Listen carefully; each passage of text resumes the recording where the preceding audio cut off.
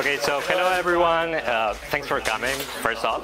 Um, so today I'm going to be talking, uh, you know, a little bit kind of at the introductory level, but really emphasizing the intuition behind PEPC.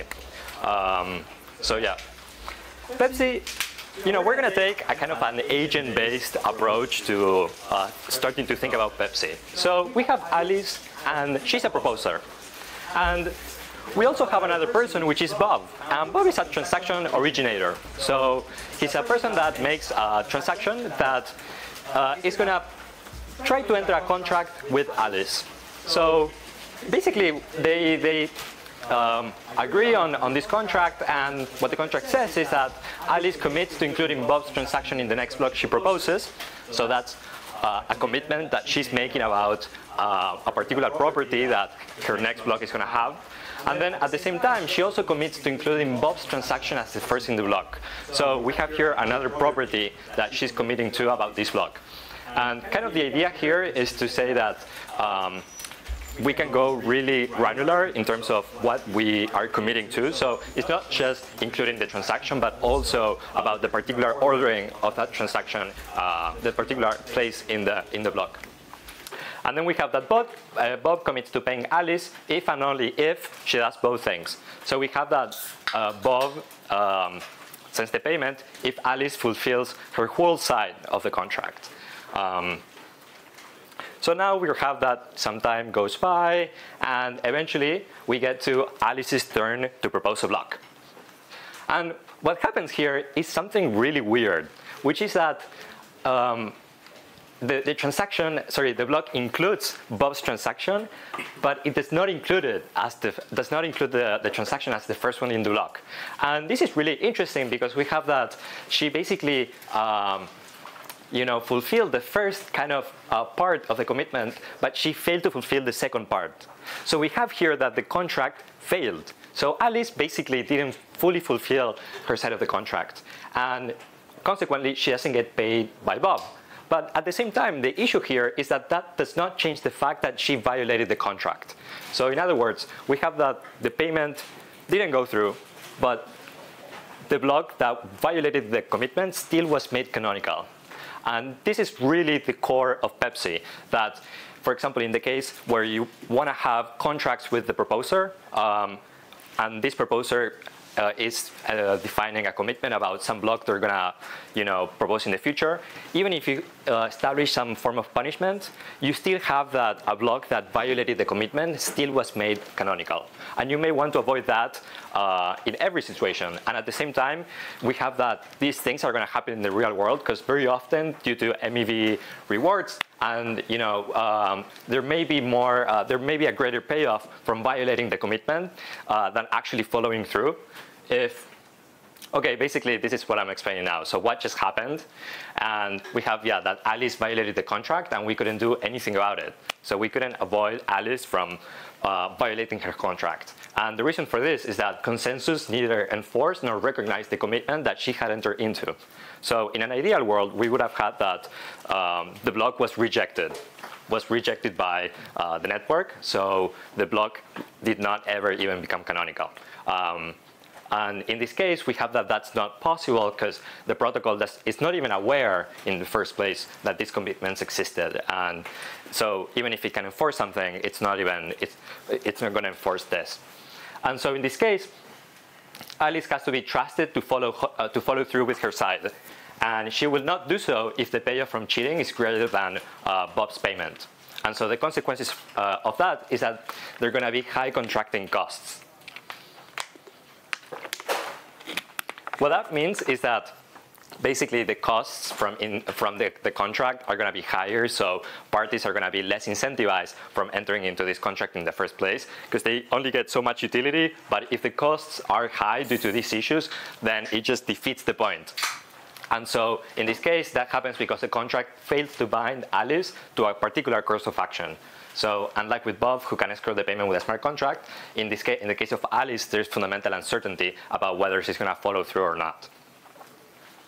And so what do we do about this? So this is kind of the, the, the guiding question, right? What do we do about this? And one possibility is to base the chain's validity off the contract. So in other words, the block or the chain itself is not valid if it violates a commitment. And what this essentially leads to is that commitments are not violated in the first place because the chain is going to keep on growing. We're going to have that if, for example, a block is invalid, it's just going to be ignored, and at that slot, uh, it will be as if no block had been proposed. And so this is kind of the gist of the idea, conditioning block validity. So Alice's commitment to a block must be consistent with Alice's existing commitments. So in other words, we have that she cannot commit to a block that violates a commitment she made or in other words, committing to the block, is uh, effectively inconsistent with uh, previous commitments that Alice uh, had entered into. And so what we can do is that we enforce this, and the alternative, which is, you know, if we get an invalid, um, an invalid block, is that we just ignore it. And this effectively means that commitments, commitment invalid blocks are never even made canonical, and they're not gossiped by honest nodes. So if I'm an, an honest node and I receive a block, I don't uh, and that block turns out to be invalid, I don't gossip it further. And so this effectively cuts um, the, the, flow, uh, let's say, of invalid blocks, uh, you know, at the earliest point of discovery that it was an invalid, an invalid uh, commitment invalid block. Um, before I talk about the general idea in more detail, do you guys have any questions? Okay, perfect. Um, so the general idea, so we have that Alice and Bob write, uh, write uh, commitments to the EVM. So the idea here is that we use the EVM as a source of truth, really in the sense that um, the commitment uh, is stored in the EVM, and therefore we take it as, you know, as if it had become common knowledge. Um, and so they write to the EVM, to a smart contract at a standardized address, uh, which means that the same that they, the same place they write to is going to be the source from uh, the wider community due to this uh, kind of a standard that we're assuming. And so in this case, we have that Bob deposits payment amount with an escrow. Uh, so that effectively uh, removes the counterparty risk for Alice. And then we also have to define a limit for the gas used to evaluate the commitment. Uh, the, basically, I'm going to talk about uh, I'm going to talk more about this later. But the idea here is that you know uh, there can be a fundamental gas griefing vector if we allow commitments to be arbitrarily complex, because basically uh, third parties are going to evaluate this commitment, and the person that had made the commitment in the first place does not born does not bear uh, the computational cost that it causes on the wider community.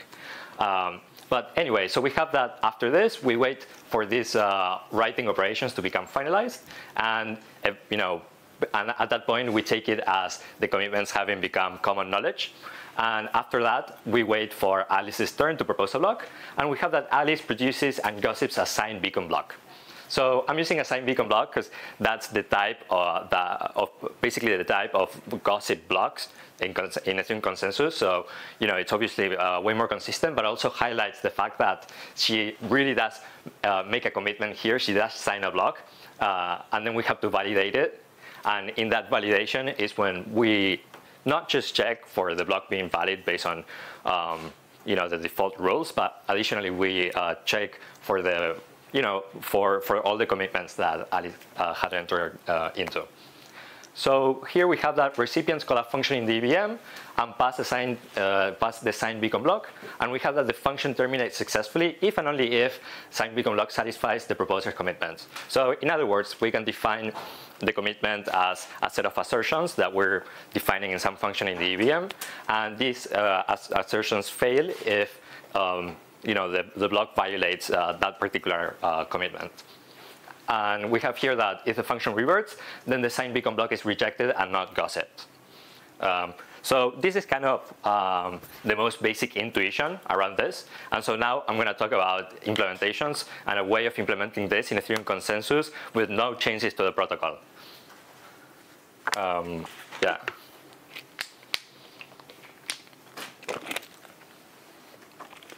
So I'm going to talk now about this idea uh, protocol commitments with no changes to consensus. So in other words, PEPC without requiring some kind of uh, hard fork or anything, just leveraging the existing infrastructure. So the, the, the, the, basis of this idea is that we use distributed validator technology to enforce uh, commitments on whatever thing that the validator is signing. So basically we have that Alice, uh, you know, Alice's validator is controlled by an aggregate BLS key. Um, and then this key is distributed using uh, Shamir uh, secret uh, sharing algorithm to basically a group of uh, external nodes. And these nodes, what they do is they only provide their signatures if and only if whatever thing they're providing their signature uh, for is consistent with the commitments of, of Alice. So we have here that Alice makes up half of the signature and the rest is controlled by a set of nodes. And these nodes reach consensus about this. So nodes provide their necessary size of a signature if and only if the data in question is consistent with Alice's commitments. And so what we have, so basically um, we have here two cases that are possible from the end of the um, nodes that kind of uh, provide this service, which is that uh, the data that they have to sign is consistent with Alice's commitments. And in that case, uh, the nodes provide their signature and you know, the signature necessary for consensus to recognize the validator is successfully produced. And we have that consensus effectively uh, recognizes the data and, and the, the rest of the protocol follows through normally. Um, so basically here we have that um, the protocol just recognizes the block and you know everything follows through normally. And then the second case is that the data is not consistent with Alice's commitments. And this is the, the, the, the really tricky case, right? And this is kind of the, the worst the worst case scenario, sort of, uh, which is that you know um, you know so in this case the nodes do not provide their signature, and the signature necessary for consensus to recognize the validator is not produced. And so what happens here is that consensus does not even recognize the signature and the protocol gracefully ignores the, the block. And so this is effectively uh, kind of leveraging uh, distributed validator technology in the sense that we kind of uh, build a threshold signature and you know the threshold is only met if um, you know the nodes agree that uh, the, the, the, data in question uh, is consistent. Um, and then, you know, here is a really interesting idea, which is commitment enforcement, enforcement as a service, which is effectively what these nodes would be doing. So they would, you know, pro they're providing their signature um, if and only if. So basically, the, the, their signature is conditioned in a way that reflects uh, kind of commitment enforcement. And you know uh, that also uh, means that nodes should probably be paid for their service, and you know we, they can simultaneously not enforce a choice onto the, the, validator because Alice, remember that controls half of the signature. So this is really important, and kind of what I mean here is that yeah, you can make a service that is probably you know not exploitative of Alice in the sense that you know the nodes are you know there's no easy way in which this thing kind of breaks down.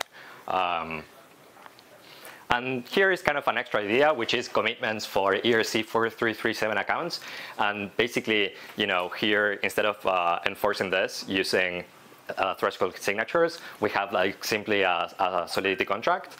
And in this contract, we just, you know, we have a function. So basically, in ERC 4337, uh, there's signature aggregators, and these signature aggregators can implement uh, arbitrary logic. And so what they can do is they can implement the logic to screen user operations for you know them being uh, consistent with uh, commitments of the author of the operation. And basically, you can have like accounts in uh, account abstraction uh, be only able to make um, basically to kind of uh, execute operations if and only if they're consistent with their commitments using just uh, the existing infrastructure. So it's a really neat way of implementing commitments for ERC 4337 accounts. And yeah, and that's about it, uh, guys. Uh, hope you liked it. And if you have any questions, I'm happy to go over them. Uh, thanks. one, one kind of yeah. question, like in the situation where the, the block does not uh, satisfy commitments, um, like is it like alternative block proposed or just like an empty block or what happens? Yeah, so that would be an empty block. Yeah, because the proposer at that block is effectively already decided, and we simply have that at that slot. No block is recognized from that proposer, so the slot remains empty. And like, what's the incentive for Alice to opt into the system? Is it does she get like bribes from the? That's a great question. So it kind of uh, hints at the base of why do people choose to contract in the first place, and the reason is that sometimes there's more utility from future interactions from contracting uh, than there is from say uh, scamming the person in the short term. So that effectively means that there are contracts for which Alice has a greater incentive to follow through than not. And you know what we can just do is um, So, so one, one, one explanation for why people choose to contract is that uh, if you have a contract which is enforced by a third party, then you can use this to fix incentive incompatibility issues. And so the idea here is that, for example, um, you, people can transact with or can enter into contracts with Alice, having certainty that Alice will follow through if the contract is enforced. And sometimes there's a really high utility uh, for doing that from the per perspective of Alice. Um, so I guess that's why. Um, yeah. You have to like. Oh, sorry, I'm other questions. Yeah, no, but uh, yeah, just one last question, I'll, I guess. I'll see you later on about it. Yeah. But did you have any idea of what, what did you want to ask? Oh, basically, I was kind of curious also what the incentive of the other nodes who hold parts of Alice's uh, keys are to, to like validate yeah. Time. But I, I, guess like if it's like rotating between them, then they have basically, yeah, like there, there's some like off off off like offline consensus or off-chain consensus going on with zone security assumptions happening Totally. So in that case, you would need to have some way of minimizing the principal agent problem, which is that you know the nodes act in the way they're expected to act uh, honestly. And so you can do that either by putting incentives or maybe even like a punishment scheme uh, where you know you have that nodes have to report and you know the ones that do you know uh, do not uh, align with the majority uh, perhaps get uh, punished in some way. Uh, in a way, this is, I feel like uh, the UMA v3 Oracle a little bit. Um, but yeah, um, yeah. Do you have any questions? So, so Alice and Bob are able to write commitments about things that are outside of the EVM, and if they're in consensus as well? That's a great question. So um, in this case, I'm using kind of uh, solidity. I'm, I'm, defining, you know, commitments in the EVM because, uh, you know, just, it's a great way of kind of uh, treating this as a common, uh, you know, like common software or like a common way of execution. So, um, you know, it's really easy for nodes or third parties to know what code to run in what way. Um, so, first question is, what are the limits of that? Um, that's a good question. I don't know the answer to, um, but I would say, you know, since the EVM is Turing complete, you can definitely do a lot of things. And then the other question is, you can only do as much, you know, so much uh, as you have, say, data in the kind of uh, in the EVM. So you know, there's a question of how you know the data availability question of you know you can perhaps only enforce co constraints or commitments on things that you can have the data for in the EVM for the program to be able to like run on uh, to, to enforce on. Uh, so so to answer that, perhaps you know you can get a lot of data. I mean, uh, on the EVM. So uh, maybe the question is, how can you get reliably get data from the outside world to be able to enforce commitments on? Uh, and perhaps the, it's an Oracle. It's an Oracle problem, exactly. Yes. Yeah. So one of the questions I was thinking was like, depending on the conditions that uh, that the contract sets. So like, um, as as Maz had asked, like the boundary of the of the conditions can be let's say uh, constrained within EVM, but then within EVM like the, the, the accessible range of data, for example. Uh, yeah. Right, it, it varies across the board. Yes. And also, as you mentioned, like there's the Oracle issues as well as like a gas limit, right? Gas limits, and, and so so like then that becomes another question, which is like how much latency are we looking at depending on the types of contract that we enter? Like because I yeah. can imagine that some contract that we enter has like a lot more latency constraints than others. Yeah. So what would the sort of like the that, that kind of a comparison look like? Yeah, so that's a really interesting question because um, you know it touches uh, basically uh, kind of resource management within the scope of uh, commitments, and you know I think that um, so basically this implementation is. Um, kind of a synchronous uh, enforcement of commitment because we have that uh, the validity conditions are atomically enforced in whatever operation we're trying to make. So, it, for example, in the case of account abstraction, um, we have that uh, there's a modifier that checks the commitments, and so that atomically enforces, you know, the execution of the user operation with the checking of the conditions. So um, I don't think there's a latency problem there, but you know, there's a question of, uh, you know, I guess uh, analogously, which is, um, you know, about like the gas usage of this. And, you know, that's a I would say, you know, with Barnabé, that's a question that we've discussed quite a bit. And I think obviously here you have that issue in which the person that defines the commitments uh, is not you know, the one that verifies them, and so the cost of verification is, uh, you know, like um, bore by third parties, and you know, you have this issue where like the person does perhaps not internalize the extern externality that they they're generating. Uh, so one way is taxing. So for example, you can have that. Um, you like you tax, say you reduce from the balance uh, the gas used from the uh, you know from the validity checks of the commitments every time that you know the network has to validate something, and so in that case you have that the person would internalize, you know Alice would internalize the cost, or another option is to just set a fixed total cost and have it you know be um, spread across all the commitments to check and all the complexity of them. Um, so uh, the, the, second is the one that I went for in a prototype that I'm going to publish soon. So you know, hopefully that will become more clear. Um, yeah. Yeah. Um, so if you have these types of uh, proposer commitments, then the builders who are constructing the blocks need to construct blocks that satisfy those. And if the commitments are on like an individual proposer level, then like every single block, there's like new criteria for what you need to uh, uh, to build a block to satisfy. Yes. Um, and so have you thought about how this like changes the block building meta? Like it seems like yes. it makes the task of being a block builder significantly more difficult. Totally. I think that's a great point and one that I have personally not thought uh, much about. Um, I think you're going to have definitely uh, the case where builders simulate the, the block to see if it violates any commitments. But definitely, uh, oh, actually, so if you view commitments kind of, or you see block proposing as a constraint satisfaction problem, which is basically problems where you have a set of constraints and you're looking for some uh, assignment that full, you know, is, com is compatible with uh, constraints. The, um, the process of trying to find this data is called uh, basically, um, you know, search, like constraint satisfaction problem uh, uh, search, and you know there are like some um, algorithms from academia. So hopefully, you know, uh, we can mirror uh, the dynamics of block proposing in terms of uh, constraint satisfaction problems, and that would make it uh, more clear for uh, about which algorithms should builders run. Um, yeah. Could you have relays like have a list of commitments refactored? Yeah, so so the, the implementation that I was thinking is um, you have a, kind of a singleton smart contract, which is at an agreed upon address, and then anyone can uh, call a function in this contract that you know uh, with you know kind of retrieves all the commitments of uh, some some users. So you can definitely have relays uh, use kind of uh, this registry. Um, yeah. Okay. Yeah. Um, given checking whether the commitment is consistent with previous commitment is a constraint satisfaction problem, perhaps we can ask Alice to propose a ZK proof, you know, every time yes. make a commitment. Absolutely. Absolutely. In fact, Anoma, you know, they just published a work about uh, kind of framing intents in terms of constraint satisfaction problems, and you know, they built infrastructure using Halo 2 to effectively create proofs for intents. So that's basically uh, empirically confirms, I guess, uh, that idea. So yeah, you can definitely use proofs for this. Um, yes.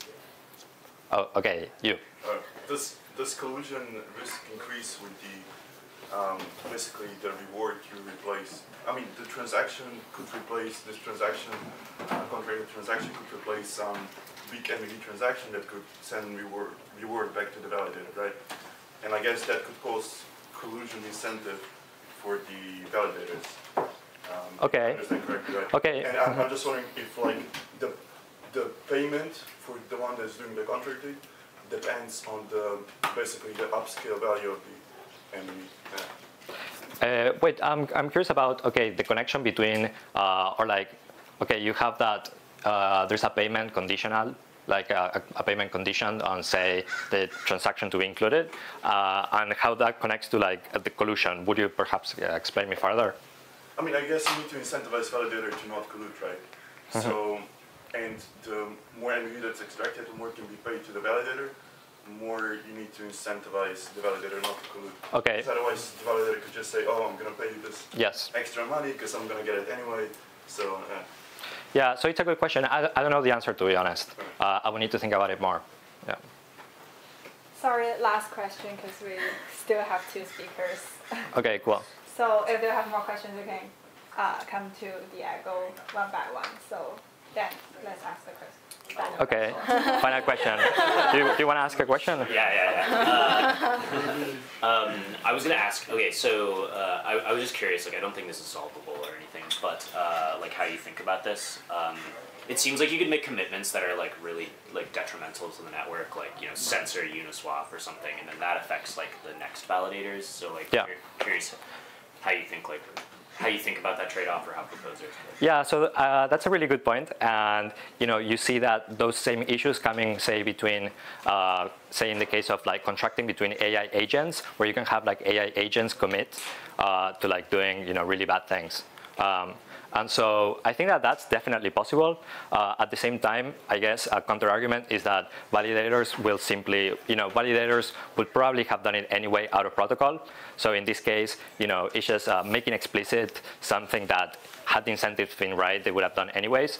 So I guess I guess a counterpoint to that would be that at the same time, this perhaps will reduce the costs of contracting uh, for even those detrimental cases. So in that case, it would effectively uh, make them have a greater utility. Um, so in, I guess, you know, I'm in no position perhaps to like, or rather, you know, perhaps it's a question of like, to what extent can we uh, constrain the way people co uh, contract? And to be honest, I think that maybe, you know, it's too hard of a problem. Uh, maybe, you know, uh, the, the, case is to let them contract for anything, even for bad things, uh, just to preserve that, uh, that freedom to contract um, however they want. Um, yeah. Thank you.